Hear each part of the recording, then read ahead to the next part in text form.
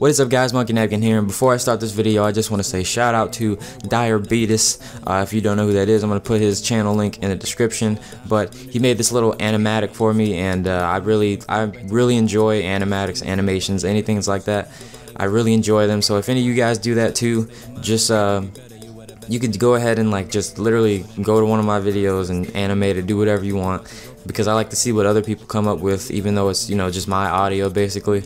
But yeah, if any of you guys do that, just go ahead and do that, and um, I will put the email right here of uh, where you can send it. Most likely, I will put it on the channel because, like I said, I'm a big fan of those. And uh, also, there will be a Walking Dead video later on today. Just wanted to say that. And uh, yeah, that's pretty much it. So again, shout out to Direbetus. Thanks a lot for the animatic. And I will see you guys in the next video. Let me tell you about my GPA 4.0 straight A's and my I don't give a fuck. Oh, oh, turn around. No. Go, turn. Oh, no. You keep her going.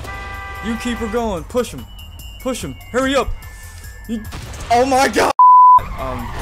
All right. Let's let's jump to here. He looks safe. He looks safe like a condom. No. Oh my god. Forget I said that. I didn't mean to say that. All right. Three three. I messed up. We got some moving ice blocks. I think we'll still be okay. Guys, you troop. Be a trooper. Keep it going. Oh, there's more. Oh snap.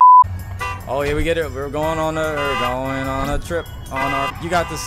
You got it. Oh!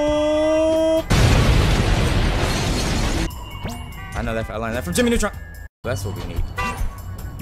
That's that's exactly what we need.